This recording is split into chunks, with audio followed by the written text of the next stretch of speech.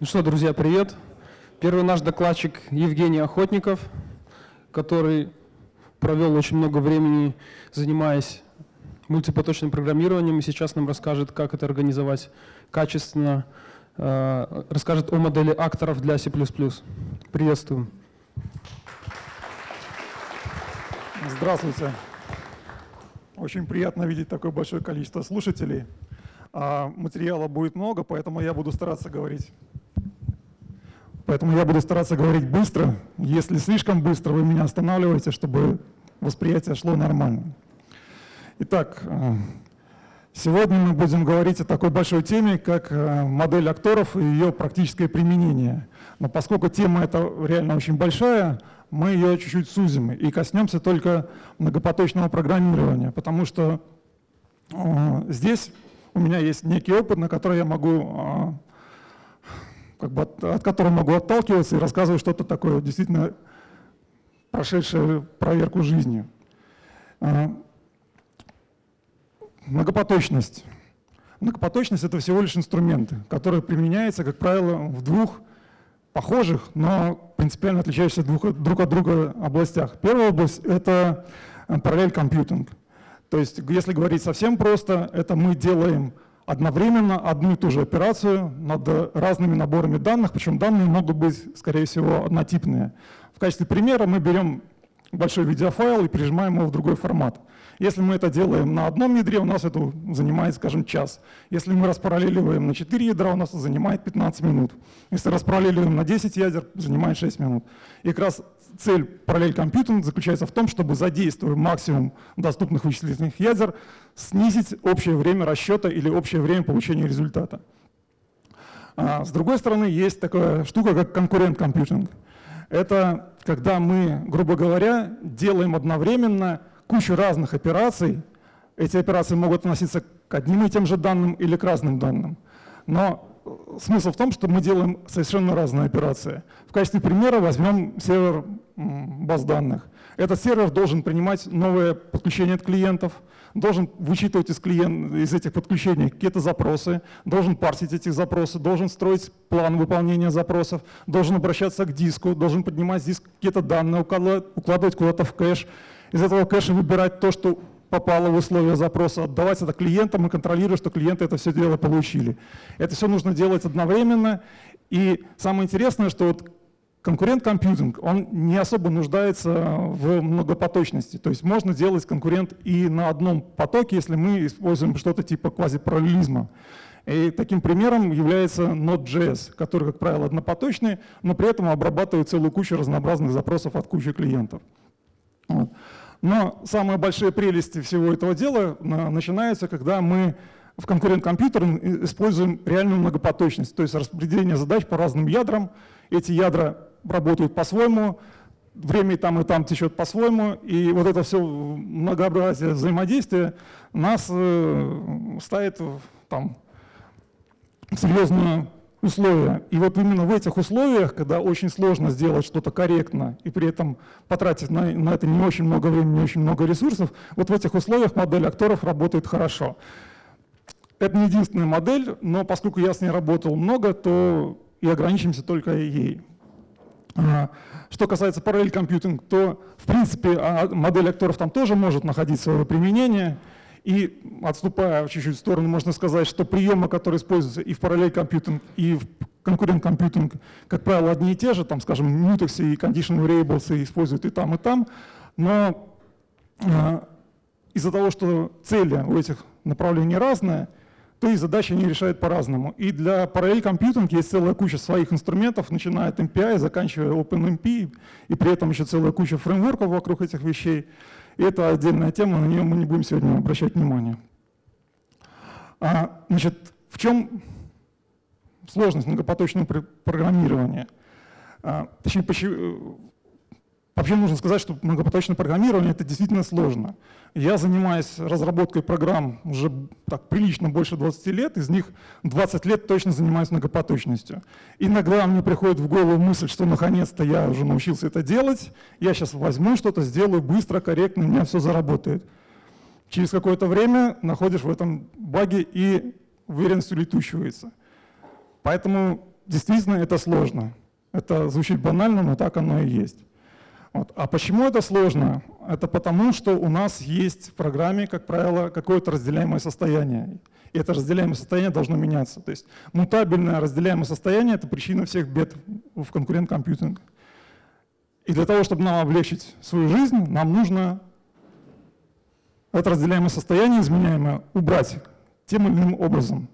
И вот э, модель акторов предлагает такой способ, как полный отказ от разделяемых данных. То есть если у нас есть несколько акторов, каждый из которых а, обладает своим состоянием, только он может его менять. Но если мы говорим про многопоточность, то значит у нас есть n потоков, у каждого из потоков есть свое состояние, и только этот поток может, эти. Э, может это свое состояние поменять. Этот принцип имеет название Шарит Нозинг и очень широко известен в узких кругах, в частности в распределенном программировании. Это один из основных принципов построения надежных и масштабируемых распределенных систем. Но оказывается, что этот принцип замечательно работает и в многопоточном программировании, особенно сейчас, когда а, встречаются микропроцессоры, у которых там не только десятки, но уже и сотни ядер прямо вот на одном чипе э, собраны. И там получается, что принципы, которые используются при создании распределенных систем и при создании системы для такого массового параллелизма, они во многом совпадают. Итак, мы договорились, что у каждого из наших потоков есть свои собственные данные. Но если только поток обрабатывает эти данные, как правило, это не очень интересно.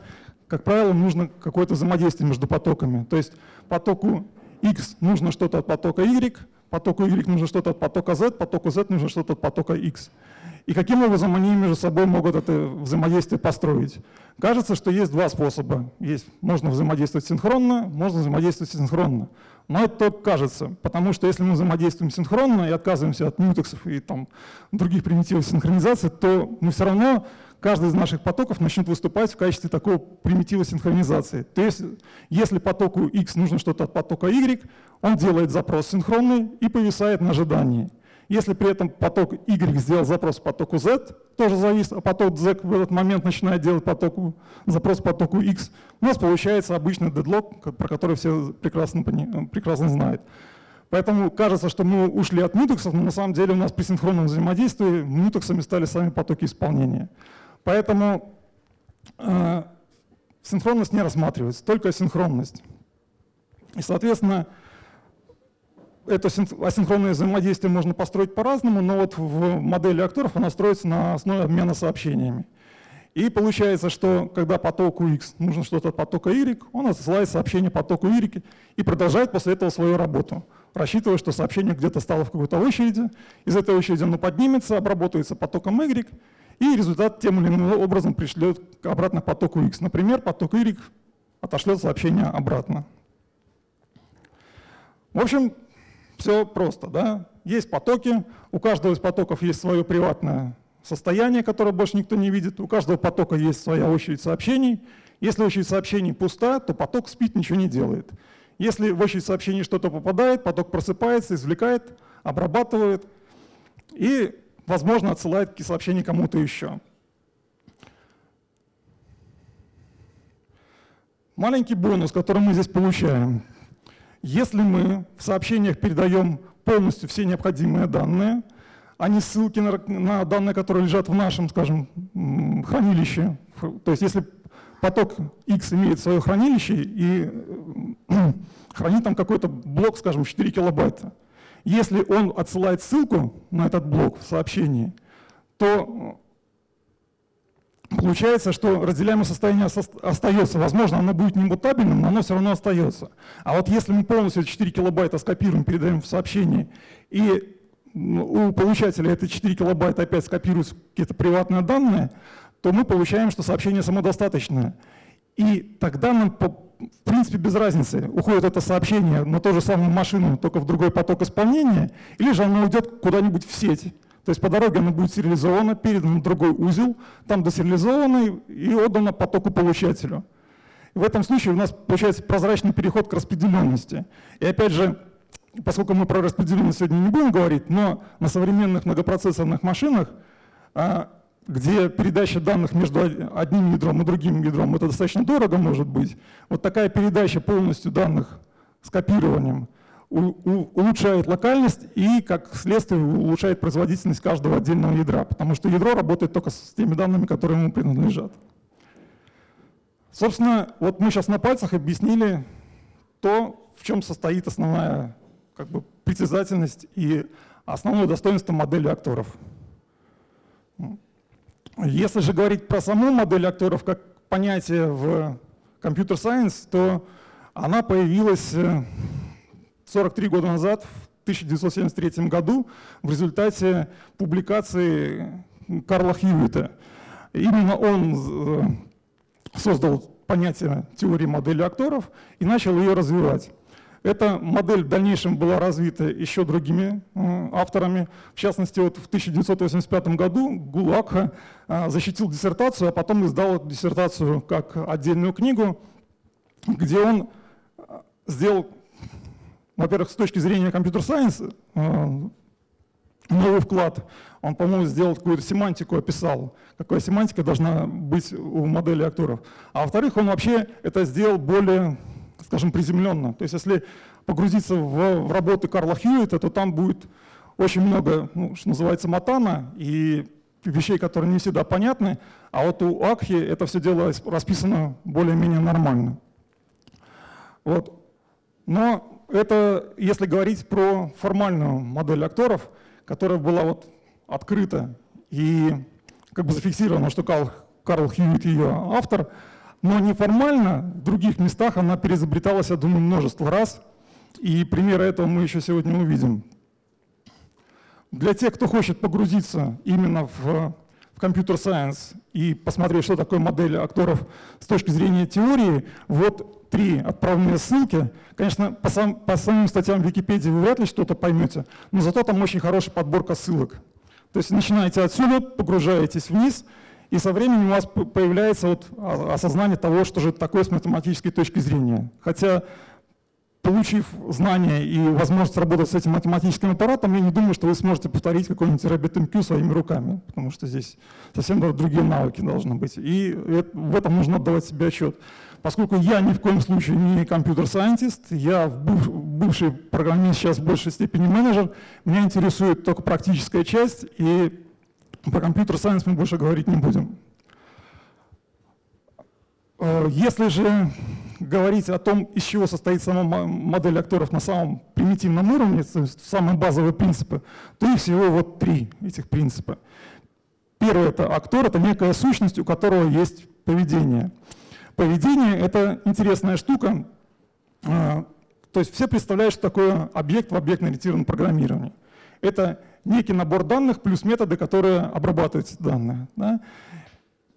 И фишка в том, что в объектно-ориентированном программировании набор методов как бы константен. То есть мы описали объект, сказали, что у него такой интерфейс, и больше с этим объектом ничего не меняется. Но если мы не берем такие языки, как JavaScript или как Ruby, где можно в процессе работы поменять интерфейс объекта, если мы берем какие-нибудь языки со статической компиляцией, типа C++, там, Eiffel или еще что-то подобное, то мы описали интерфейс объекта, и он уже не поменяется. Поэтому если у нас есть метод pushback у вектора, мы его можем вызвать в любой момент. Пустой вектор, не пустой, мы можем вызвать pushback, и он что-то сделает. Вот в модели акторов поведение — это, во-первых, данные, которыми обладает а, объект и их состояние, а во-вторых, набор методов, которые объект может выполнить над своими данными. И этот набор методов может в динамике меняться. То есть объект может менять свое поведение в зависимости от того, что к нему пришло. Второй принцип — это то, что акторы реагируют на входящее сообщение. То есть они больше ничего не делают. Они висят, ждут, пока к ним что-то придет. Как только что-то приходит, они на это сообщение реагируют. Среагировали, закончили эту реакцию, все, опять они висят и ждут, пока не придет новое сообщение. И когда они получают сообщение, акторы могут делать три вещи. Отослать некое конечное количество сообщений другим акторам, причем то, что конечное, это, это важно. Это гарантирует то, что в системе будет какое-то движение, никто не, не повиснет. Как это сделать на практике, честно говоря, не представляю, здесь от программиста зависит. То есть программист может написать такую реакцию на какое-то сообщение, что он будет бесконечная отсылка сообщений и все повиснет. Но э, в рамках таких языков, как C++, наверное, ничего нельзя сделать. Может быть, появятся другие языки или реализации для языков типа AGDA или COG, э, на которых это будет доказываться математически. Но в C++ этого нет. Следующее, что может сделать актор, когда он получает сообщение, это он может создать некое количество новых акторов, опять же, конечное, чтобы наша система как-то нормально себя вела. И, наконец, он может определить новое поведение для обработки последующих событий. То есть как раз то, что я и говорил. А, значит, у нас может быть актор, который в начальном состоянии имеет реакцию на два сообщения, первое из них он получает и понимает, что теперь я перехожу в новое состояние, и дальше я могу обрабатывать три сообщения. Получав какое-то еще одно сообщение, он скажет, ну теперь я получу, прихожу еще в одно состояние, теперь буду обрабатывать четыре сообщения разных. И таким образом он, в зависимости от того, что к нему приходит, он а, выбирает для себя новое поведение. И в принципе это похоже на то, как ведут себя конечные автоматы, и это не случайно на самом деле, и мы потом увидим почему. Вот нужно отметить, что э, под актором понимается просто некая абстрактная сущность, которая на практике может быть реализована совершенно разными способами. То есть актором может быть отдельный процесс, причем как процесс в операционной системе, так и процесс в какой-нибудь виртуальной машине. Вот, например, Erlang а, позволяет в рамках одной виртуальной машины запускать сотни тысяч легковесных процессов, и каждый процесс может выступать как вот отдельный актор, рассматриваться как отдельный актор. А актором может быть отдельный поток выполнения. Это нить операционной системы или Fiber, или какая-нибудь GreenZRID, которая реализована на основе тех же самых файберов или еще каких-то механизмов. И, например, гроутины в языке Go в принципе могут рассматриваться тоже как некие акторы. А. И, наконец, акторами могут быть вообще объекты, которые вообще никак не связаны с потоками исполнения. Они могут быть просто объекты, которые ведут себя как конечные автоматы. Им кто-то выдает рабочий контекст на момент обработки сообщений. Потом они этот контекст возвращают обратно для того, чтобы контекст могли передать кому-то еще. И примером такого подхода является АКА и те фреймворки для C++, про которые мы будем говорить позже. Опять же, на эту же самую тему, поскольку модель акторов не, специ... не специфицирует, что из себя должен представлять актор, каждая реализация делает это по-своему. И поэтому востребованные на практике и широко используемые реализации, они все практически разные. У одних работает одно, у других другое, у третьих третье, но все равно это считается частью реализации модели акторов. А, как я сказал, модель акторов появилась довольно давно, за это время она претерпевала несколько волн интереса к ней и потери интереса. А, в частности, я еще помню времена, когда про модель акторов стали говорить о том, что она себя изжила, не, не, не смогла доказать свою популярность, но тем не менее, вот после того, как язык Erlang вышел в open source, и многие компании стали его активно использовать и успешно, и докладывать о своих результатах, а, появилась очередная волна, и вот она уже на моей памяти длится, наверное, если не с 2004, то с 2006 года уже точно. И, на мой взгляд, она постепенно усиливается. И, наверное, это правильно. Потому что в самой модели акторов есть интересные вещи, и мы об этом еще поговорим позже. Вот теперь поговорим о том, что же на данный момент считается ну, типа иконой или образцом реализации, на который имеет смысл обратить внимание, для того, чтобы понять, как это сделано хорошо. Или как это сделано так, что этим пользуется огромное количество людей, получают от этого удовольствие и больше ничего не хотят знать. Вот одна из этих реализаций — это Erlang. Ну, это, по-моему, вообще самая-самая известная вещь. Но забавно, что я, например, никогда не видел, чтобы автор языка Erlang говорил, что это сделано под влиянием модели акторов. Я специально при подготовке к докладу пересчитывал его статью 2007 года, где он рассказывал про историю возникновения Ирланда. Там он вообще ни разу об этом не упоминал. Но тем не менее, когда читаешь статьи каких-нибудь теоретиков модели акторов, они все ссылаются на Ирланд и говорят, что ну да, Ирланд — это одна из реализаций. Вот. А, характерная черта Erlang заключается в том, что он изначально был написан так, чтобы упростить людям разработку а, приложений для телекома. В этом есть определенные нюансы.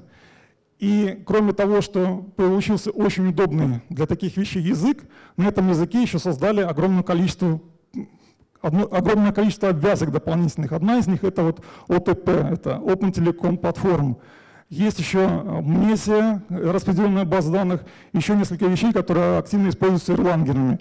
И фактически, когда мы говорим про Erlang, мы говорим не только про сам язык, как некий DSL для записи взаимодействия между легковесными процессами, но говорим именно о всей инфраструктуре, о всей экосистеме Erlang.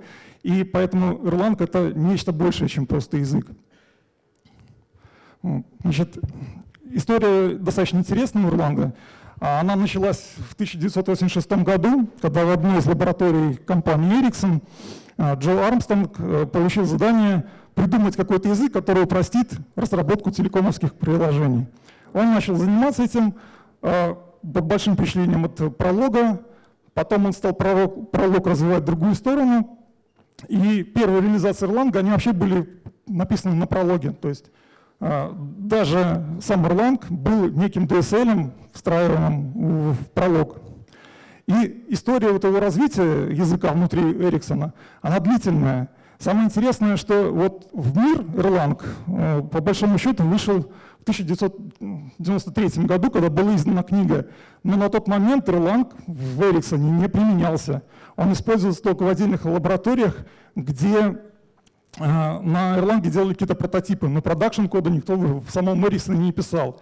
И только в 1995 году, когда в Erlang э, заглох большой проект по разработке нового программно-аппаратного комплекса для телефонии, который, кстати, писали тогда на C++, а, в Ericsson сели стали думать, ну если у нас этот проект заглох, а нам нужно делать, то на чем мы будем делать? И вспомнили про Erlang, выдали а, команде фактически карт-бланш, наняли огромное количество программистов, и результатом стал программный продукт AXD 301, который обеспечивает там, 9 девяток доступности, а, на момент, когда он появился, там было более миллиона строк кода на Erlang. Над эрланговой частью работало 60 человек. Это был крупнейший проект на тот момент на Erlang. Сейчас этот проект до сих пор развивается, и там, наверное, уже около 3 миллионов строк кода на Erlang написано. Но дальнейшая судьба Erlang в Ericsson оказалась странной. Вроде как только-только в 1998 году этот AXD 301 вышел, все вроде успешно, но руководство сказало, нет, нам не нужен свой приватный язык, точнее proprietary язык, нам нужен какой-то публичный. Поэтому мы переходим на Java, а Erlang мы забываем. Это не понравилось, естественно, тем, кто работал на Erlang, и они потихонечку из Ericsson ушли, в том числе ушел и а, Джо Армстронг. И как раз вот это решение компании Ericsson о том, что они не будут в новых продуктах использовать Erlang, а, дало возможность Erlang выйти в open source. Из этого началась вообще его новая судьба, а из-за того, что он вышел в open source, его все могли использовать, появилась новая волна интереса к Actor Model. Ну, за примерами того, где используется Erlang, наверное, далеко ходить не нужно. А, есть очень много а, таких известных продуктов. В частности, мне приходилось иметь дело с э, RabbitMQ, который на Erlang написан и является одной из таких самых удобных систем MQ-шных. Вот. А, знаменитый пример WhatsApp, у которого основная часть написана на Erlang, они, вот сейчас уже не помню, там сотни миллионов сообщений в день обрабатывают. Вот. И недавно в Wargaming здесь, в Минске, собрали очень приличную команду, причем сманили часть ирлангеров из других городов, в том числе из Питера, насколько я помню, и потихонечку переписывают свои части на Ирланге. Там они, по-моему, делали чат внутри игры на Ирланге, а потом стали на Ирланг переищивать питонистов, которые занимались веб-частью. И потихонечку там Ирланг переходит в веб. Так что Erlang такая серьезная платформа, которую следует рассматривать в качестве хорошего инструмента. Вот. Ну и теперь можно посмотреть, как это все выглядит на практике. Если... Так, всем хорошо видно, да? Ну смотрите, здесь вот начинается работа пример пинг-понг из стандартной документации по Erlang, которую можно найти на сайте. А, в этом примере все начинается вот здесь, функции start. Сначала мы запускаем процесс под названием pong. Он реализуется вот этой функцией. И получаем назад э, айдишник процесса, pit так называемый. А потом запускаем второй процесс под названием ping. В этом процессу в качестве аргументов передаем два параметра. Идентификатор процесса pong, куда мы будем отсылать сообщения, и количество сообщений, которые нужно отослать. И вот что делает процесс ping. Он когда стартует, он сразу же pong отсылает сообщение ping. Вот это вот розовое ping, это вот идентификатор сообщения. Когда он получает назад ответ pong, он печатает, что ответ получен, и вызывает сам себя с уменьшением счетчика. Это обычный в функциональных языках программирования прием, когда мы обеспечиваем цикл через хвостовую рекурсию. И эта хвостовая рекурсия заканчивается вот здесь, когда в качестве первого параметра приходит 0, тогда все завершается. А процесс Pong достаточно простой. Он просто висит на приеме сообщений. Если он получает сообщение finish, то он завершает свою работу. Если он получает сообщение ping, он печатает то, что сообщение получил, и отсылает сообщение pong процессу пингеру. А, вот, вот эти вот вещи, finished, ping и pong, вот, подсвеченные здесь розовым цветом, это интересная штука в Erlang, называется атомы. Атомы — это такая, а, такой объект, который не собирается сборщиком мусора, он постоянно присутствует. И это интересная штука, которую потом еще мы увидим в другом месте. Если кто-то программировал на Ruby, то в Ruby похожая есть вещь, называется Sample Symbol. Он тоже не собирается сборщиком мусора, используется для подобных целей. Вот эти атомы, они используются в качестве таких идентификаторов. Если в других языках программирования мы для того, чтобы дать имя сообщению, используем, как правило, строковую константу или идентификатор типа, то вот э, в Erlang используются атомы. Но когда мы дойдем до фреймворка CAF, мы увидим, каким образом там поступают с атомами. Поэтому я обращаю ваше внимание сейчас. Следующая икона современная — это а, фреймворк АКА тоже, наверное, очень известный, один из самых известных. Его история началась э, не так давно, э, причем как бы из двух этапов состоит. Первый этап это в 2006 году для стандартной библиотеки языка Scala написали небольшую реализацию акторов. Получилось достаточно прилично. Я помню, я сам в этот момент интересовался языком Scala. Для меня появление такой библиотеки стало таким интерес, э, фактором того, что ну, на, на Scala можно обратить внимание, там можно программировать так, как я привык. Вот. Когда люди увидели, что это хорошо, стали писать э, приложение достаточно сложное, обнаружили, что хорошо, акторов мы можем иметь у себя в стандартной библиотеке, но нам не хватает обвязки, как в Erlang. То есть говорит ОТП нету. И один из э, программистов, Джонас Боннер в 2008 году решил, давайте мы напишем аналог УТП только на скале и на его акторах. И так изначально все называлось, скала УТП. В дальнейшем оно получило название АКА, и публичный релиз состоялся в 2010 году, то есть относительно недавно. И за вот короткое время, за короткий срок э, фреймворк Akka стал очень популярным в мире JVM, где он поддерживает как Scala, так и Java. И, ну, не знаю, может, у меня просто специфический круг общения, но мне кажется, что сейчас там более-менее серьезная система распределенная, где требуется какое-то масштабирование, какая-то реакция на внешнее воздействие и прочее, они просто по умолчанию сразу говорят, ну попробуем Маку, если не получится, будем смотреть что-то другое. Хотя на Java есть и более интересные фреймворки, например, Qzar, если я правильно произношу, но тем не менее, как бы стандарт де-факто в мире Java сейчас это АКА. Ну и если кому-то интересно, то вот а, реактив манифеста он, по-моему, был написан чуть не под диктовку вот ребят, которые разрабатывали Аку и Скалу в свое время. Вот пример пинг-понга на а, скале. И, да, это скала, и используется фреймворк Ака. Здесь начинается все вот здесь вот, когда создается актор System, ну это фактически контейнер, где будут жить все остальные акторы. И там создается два актора, ping, точнее pong сначала, и сохраняется вот ссылка на него в качестве идентификатора, и ping которому передается идентификатор понга в качестве параметра. И потом пингер отсылается старого сообщения. Здесь используется статный механизм а, паттерн матчинга из языка скалы, который позволяет отслеживать. Вот пришло старт месседж, и мы отсылаем агенту, а, точнее, эктору пункт сообщение ping. И когда получаем ответный пункт message, мы делаем какие-то свои действия. У Понга тоже все достаточно просто. Он висит на ресиве, если получает пинг, то отсылает ответ Понг, если получает стоп, просто завершает свою работу. Здесь, в принципе, тоже все достаточно понятно, но можно сравнить выразительность выразительность Erlang, насколько мало кода здесь, и насколько этот код понятен, и выразительность скалы, которая, в принципе, достаточно понятна, но, тем не менее, требует э, неких больших телодвижений, потому что э, вот эта модель акторов в качестве библиотеки наслаивалась на уже готовый язык программирования. А, поскольку Erlang и Ака очень популярны, то имеет смысл задуматься вопросом, а, задуматься над вопросом, а почему так происходит вообще, что они дают э, своим разработчикам, что они настолько популярны и настолько серьезные системы на них разрабатываются. А все достаточно просто. Если вы посмотрите какие-нибудь маркетинговые материалы рекламные, даже на сайте вот этих вот э, инструментов, вы увидите там перечисление нескольких вещей, из которых обязательно вот эти три будут присутствовать. Во-первых, это простота. Ну, на самом деле программировать многопоточные приложения путем асинхронного обмена сообщений проще. Это как бы проверено временем. Там тоже можно поймать приключения, но их все равно будет меньше. Поэтому за короткое время сделайте лучше и качественнее.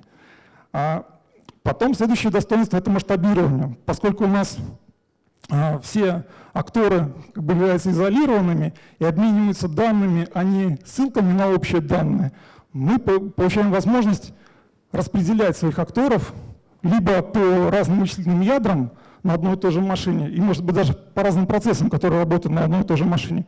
Так можем прозрачно распределить их на несколько машин и получить горизонтальное масштабирование вот просто, ну, что называется, бесплатно. Оно у нас тоже как бы есть. И вот этот эффект масштабирования, он в акторных системах присутствует и легко ощущается. И третий пункт, который тоже обязательно указывается, это отказоустойчивость. Поскольку акторы изолированы, если происходит какая-то беда с одним актором, он упал и перестал работать, то другие акторы могут на это среагировать, и поскольку данные приватные, ничьи другие данные запорчены не будут. Они могут просто вычеркнуть из системы этого упавшего актора, создать вместо нового, и он будет работать. По такому принципу, кстати, работает вот система супервизоров Erlang, которая считается одним из основных преимуществ Erlang вообще в разработке отказоустойчивого софта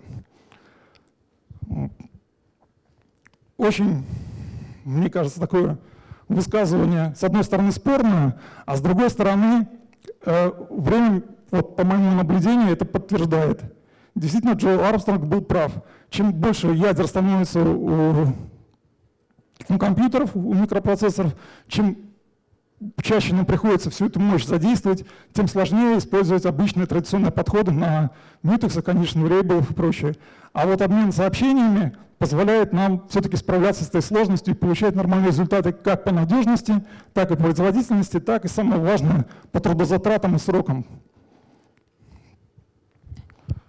Вот, насчет отказоустойчивости здесь важный пункт нужно отметить, что когда отказоустойчивость обеспечивает безопасный язык типа Erlang или Scala, который работает в безопасной же среде в виде Erlang, виртуальных машин или JVM, там надежность чуть выше, чем когда мы программируем на C++. Потому что если в Erlang вы разделите что-то на ноль, у вас пойдет только этот легковесный процесс. Если вы в C++ разделите что-то на ноль и специально не озадачитесь обработкой математических ошибок, то у вас грохнется все приложение. Если у вас там работало 1500 потоков, то все 1500 потоков и умрут. Поэтому C++ отношение к устойчивости и надежности, оно несколько другое, чем вот в Erlang и в других безопасных языках. Вот. Но поскольку с надежностью C++ не так все хорошо, то возникает вопрос, вообще актор модель, она в C++ нужна или нет? Но этот вопрос не очень правильный, потому что по большому счету люди сейчас задачу совсем другим вопросом. И когда ты пытаешься кому-то рассказать, что эту задачу можно решить на акторах и на C++, то говорят, а зачем там C++? Вы берете Erlang, берете APU, берете еще что-то и решаете и начинают приводить всякие причины, почему C++ нужно выбросить. Ну на самом деле с ними спорить сложно. Язык C++ старый, за это время он разросся до таких размеров, что осознать его конкретному разработчику ну, очень тяжело. Я сомневаюсь, что в мире найдется там человек 200, которые могут сказать, что они хорошо знают C++. Ну, по большому счету, чтобы они не покривили душой. Вот. Есть жалобы, что вот C++ вбирает в себя новое из других языков, но делает это коряво, и получается как-то не очень удобно. И все это вот, вот в Haskell, например, красиво и легко. А у вас в C++ все очень сложно. Чтобы еще отметил интересное, точнее важное в этом плане, то, что в каждом большом проекте C++ он свой. То есть если кто-то разрабатывает систему для авионики, где-нибудь Lockheed Market, у них может быть свой C++, а когда люди в Фейсбуке обрабатывают большие объемы данных на C++, у них там свой C++. В одном случае есть RTTI и исключение, в другом случае этого нет. И язык получается совсем разный, и обеспечивать надежность при программировании без исключений и при программировании с исключениями нужно совершенно по-разному, и это тоже доставляет там, из разных хлопот. Но тем не менее, если мы посмотрим объективно на то, что предоставляет C++, то выяснится, что в принципе альтернатив-то пока и нет, по крайней мере среди мейнстрима. Есть языки, которые могут войти в мейнстрим через пару лет и занять какую-то нишу, которая сейчас занимает C++, но по большому счету вот прямо сейчас, ну вот я могу назвать только одну альтернативу, это язык ада. Но порог входа туда тоже очень немаленький, и получите ли вы какой-то выхлоп реальный, если взвесите все факторы, далеко не, как бы, я не гарантирую, что так оно и будет. Поэтому раз сам C++ нужен в тех или иных областях, значит нужны инструменты, которые облегчают нам работу в C++, в том числе и инструменты для а, модели акторов. Ну и времени осталось мало, поэтому галопом по Европам быстренько рассмотрим четыре фреймворка, которые э, присутствуют вот в этом списке. Э, но, правда, список не полный, если кто-то хочет посмотреть, придется искать по Гуглу, но тем не менее качество отправной точки можно взять. А, четыре фреймворка, они выбраны потому, что они написаны на C++ и для C++. Они кроссплатформенные, они интересны и, самое главное, они живые. Вот это очень важный момент, потому что вот на моей памяти появлялось очень много фреймворков, которые декларировали, что они реализуют модель акторов, но рано или поздно практически все умирали. А выжило не так уж много, и вот часть из них здесь присутствует. Какие-то фреймворки, например, вот а, библиотека синхронных агентов, которая есть в составе Visual Studio, здесь не включены, потому что я не знаю, как у них с платформенностью. Но если вы привязаны только к Visual Studio, имеет смысл туда посмотреть, очень интересная разработка. Итак, первое, что есть, это QP CPP. На самом деле, вот эта компания State Nation, она развивает целую кучу продуктов для разработки встраиваемых систем. У них там есть свое ядро, какая-то своя нашлепка над, над этим ядром, и над этой нашлепкой есть еще вот QPCPP. Выглядит это все, сейчас покажу, достаточно олдскульно. То есть, если нам нужны сообщения, мы их описываем в виде YAML. А потом мы описываем, так, ну это вот, потом мы описываем класс, который будет, собственно, нашим актором. И наше состояние тут будет представлено вот статическими методами. И можно посмотреть, как эти статические методы реализованы. Ну, вот, э, пример демонстрирует некий, некий индикатор, который то загорается, то гаснет на встраиваемом устройстве. И вот у него есть два состояния, когда он выключен, когда он включен. И вот видно, что когда мы входим в состояние выключен, вот это вот событие отрабатывает, мы выключаем индикатор, говорим, что мы обработали состояние и завершаем свою работу. Если мы получаем сообщение timeout, э, мы переходим в другое состояние, состояние on, и здесь срабатывает вот этот вот блок. Потом, если мы в состоянии on получаем timeout, мы переходим в другое состояние. И вот таким образом мы все это дело программируем. Так, ну, не знаю, имеет ли смысл продолжать или не имеет, потому что 5 минут осталось, и можно перейти к вопросам. А если вопросов не будет, я тогда еще пробежусь, пробегусь по оставшимся слайдам что-нибудь, может, это расскажу.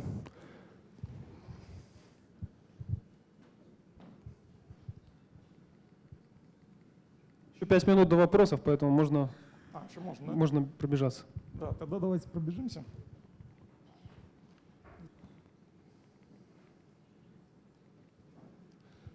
Еще одна библиотека, очень маленькая, очень простая, написана очень известным человеком, Энтони Уильямсом.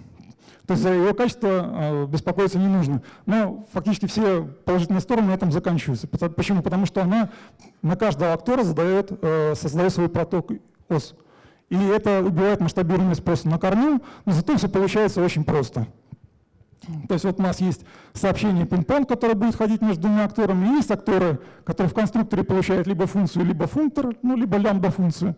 И в этой функции он просто тупо в бесконечном цикле или в цикле с каким-то условием дергает метод receive и выбирает те сообщения, которые ему интересны. Вот можно, кстати, обратить внимание, что вот здесь вот никакой выборки вручную сообщений не было, а здесь она реализуется вручную. Вот. Это сделано потому, что у каждого актора есть свой поток исполнения. Вот. Но э, как бы одной из самых популярных и самых известных, ну, популярно сложно говорить, самой известной библиотекой для C++ сейчас является вот, C++ Actor Framework или CAF. Раньше он назывался libcppa. Библиотека относительно новая, и до сих пор развивается, причем развивается активно и ломает совместимость между версиями.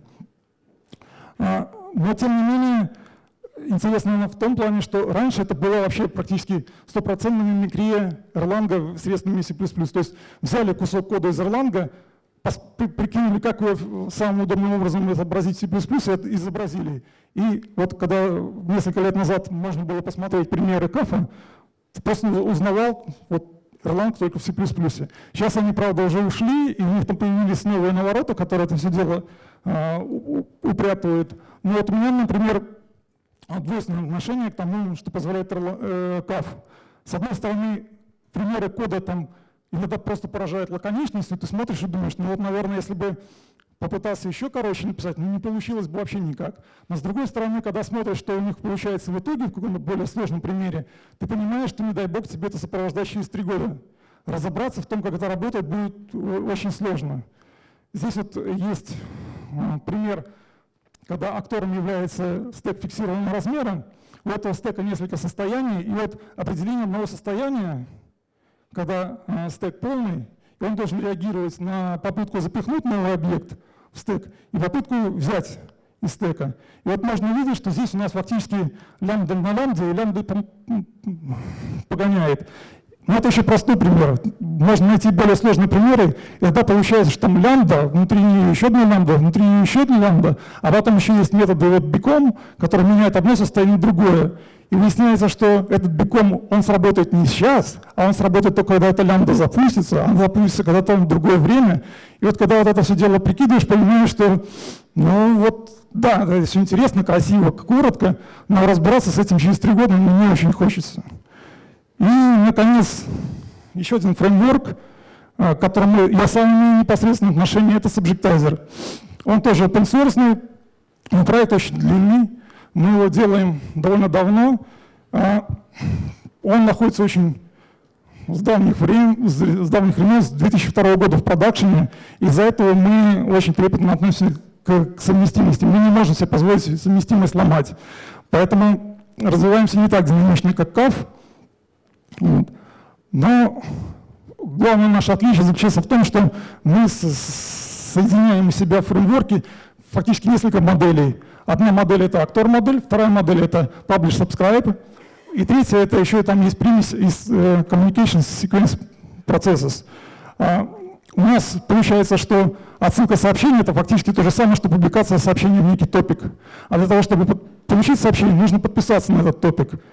Поэтому получение это фактически аналог э, subscription. И э, в качестве примера здесь есть код, тоже самый мигающий индикатор, только он уже средствами сабжектайзера сделан. Здесь вот показано, что у агента есть состояние, выключен, включен, и в состоянии включен у него есть два. То есть индикатор сейчас горит, индикатор погашен. И есть сигнал, который включает, выключает этот индикатор. И вот описание, как это все работает. Мы изначально переводим агента в состояние выключен. Если в состоянии выключен, он получает сигнал turn off, он переходит в состояние включен. А если он в состоянии включен, получает тоже, такой же сигнал, он переходит в состояние выключен. Вот. Но поскольку в состоянии включен, у него есть еще два подсостояния, то вот на эти подсостояния вешаются отдельные реакции. То есть когда мы входим в подсостояние блинком, а мы туда входим автоматически, мы показываем, что включили индикатор, потом, когда выходим, выключаем индикатор. И ограничение по времени нахождения в этом состоянии субжектайзер отслеживает а, автоматически.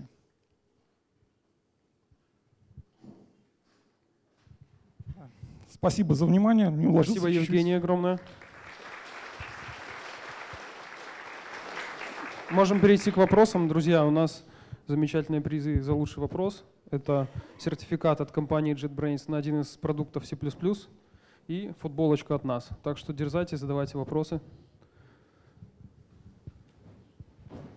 Антон Полухин, Яндекс, Москва. Добрый день. Спасибо за интересный доклад. А, скажите, а почему вы не рассматривали самую популярную библиотеку на C++ по акторам и про акторам, которые уже больше 13 лет, а именно Bustazio? Ну, у Bustazio есть конкретная направленность на операции ввода-вывода, причем именно сетевой трафик.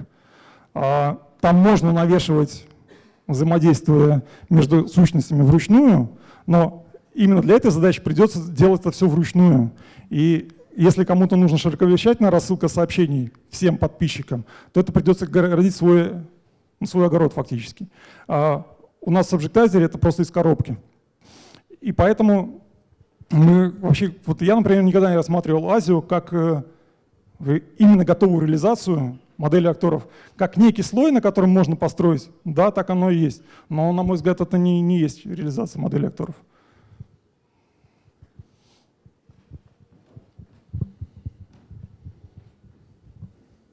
Здравствуйте, Сачок Николай, Элис Games. Подскажите, вот в этих фреймворках на C++, о которых вы рассказывали, что сделано для обеспечения отказоустойчивости? Вы об этом упоминали вкратце, но не развили тему. А, в кафе и в Subjectizer есть возможность повесить сообщение на а, крах а, конкретного актора. То есть если актор или агент завершает свою работу аварийно, на это дело можно повесить свой обработчик и среагировать, создать новую или как-то еще поступить. Но опять же я повторюсь, что в C++ это не, не, не такой ценный момент, как вот в Erlang или в Ваке. А, здравствуйте, э, меня зовут Сергей, тоже Alice Games. Скажите, такой вопрос э, по масштабированию меня интересует. А, э, то есть для того, чтобы пересылать сообщения между машинами, вам нужно сериализовать их. Вопрос, если, ну, условно говоря, акторы на одной машине, то сериализация, она как бы туда сериализация, десериализация, она ну, по перформансу влияет. Да. Как, как вы определяете, то есть нужно сериализировать, не, не нужно, когда отсылается сообщение? Ну, во-первых, из того, что мы рассказали про C++ фреймворки, распределенность из коробки есть только у Кафа. У них какой-то собственный протокол, а его реализация базируется уже на Boost ASIO. Вот.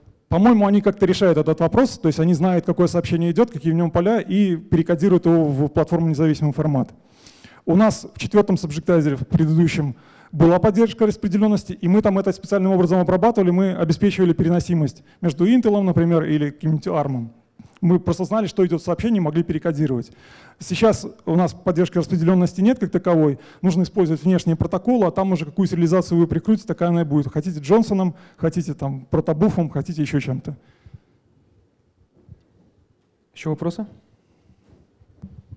А, Виктор Николайчук, спасибо большое за доклад, очень интересно. Такой вопрос.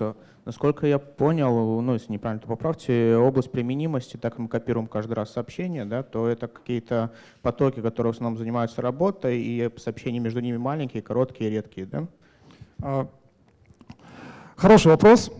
Вот по нашему опыту выходит так, что если вы между потоками хотите часто обмениваться сообщениями, вы делаете что-то неправильно потому что сообщение приходит не бесплатно, и если у вас слишком частый поток э, сообщений, вы что-то не, так делаете, попробуйте совместить это все на один поток, чтобы вам не, не приходилось сообщение гонять туда-сюда. А по поводу того, где это может применяться, на самом деле есть как бы два экстремума. Либо вы редко передаете большие блоки данных, да, либо вы передаете большие, э, часто очень маленькие сообщения, но на совершенно разные потоки. И вот еще интересный момент заключается в том, что да, если мы копируем полностью содержимое сообщения, мы несем накладные расходы. Но если мы делаем, скажем, обработку видео или обработку там, изображений, где нужно на один и тот же кадр применить несколько фильтров, то нам невыгодно копировать вот этот сам кадр. Нам выгодно поместить его один раз в память и передавать в сообщении только ссылку на него. Здесь мы отходим от этих принципов, про которые я говорил, но зато мы выиграем в, в эффективности. Ну тут уже либо то, либо другое. Мгм. И такой вопрос. Посылка сообщения, я так понимаю, она все равно как-то синхронизируется? Или... То есть там Она блок- синхронизируется только на очередях сообщений. И в зависимости от реализации там может быть очень эффективная на а, лог-фри очередях. То есть вот этих фреймворках там все-таки лог-фри или фреймворк? Везде, везде по-разному. То есть вот э, разработчики Кафа говорили, что у них какой-то свой хитрый э, алгоритм поддержки очередей. У нас есть и подобие log-free, и чисто на мьютексах. В разных сценариях это по-разному работает, и используется и то, и другое. Ясно. И последний вопрос. э, Дебаг этого всего, насколько удобен вообще отслеживание там? Что? Ну, дебаг, понять, что там внутри происходит, э, насколько это все удобно, э, не запутывая. Не, не очень удобно. Вот как раз сила э, Erlang в том, что там есть хорошее средство для того, чтобы посмотреть, что внутри происходит. Мы в Subjectizer такие средства добавляем по, по мере необходимости. Недавно у нас появилась возможность трассировки вообще всех сообщений, которые ходят. Вот. Как в кафе с этим обстоит, не знаю. Но вообще нужно, нужно привыкнуть, потому что отладка вот этих асинхронных сообщений, э, асинхронных сообщений не такое простое дело, оно чуть посложнее. Спасибо большое. А, Спасибо, друзья, за вопросы. Будем закругляться. Остальные задавайте Евгению в кулуарах, он еще здесь будет. Да, я еще хотел добавить, что на слайдах на самом деле больше, чем удалось показать. Слайды будут выложены либо у меня в блоге, либо вот на сайте конференции. Посмотрите, там есть мои координаты. Если у кого-то есть вопросы, можно связываться потом в офлайне. Большое спасибо. Спасибо, Евгений. Поднимите, пожалуйста, руки, кто задавал вопросы. Было больше вопросов, не стесняйтесь. Хорошо, Виктор, вам достается сертификат на продукты JetBrains. И раз больше никто не поднимает руки, тогда зайдите к нам за футболочкой еще.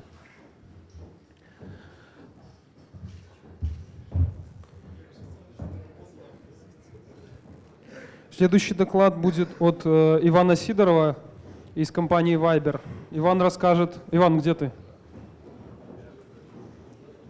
Иван расскажет о Gmog Framework, то есть о, о фреймворке Google Mock для написания mock объектов.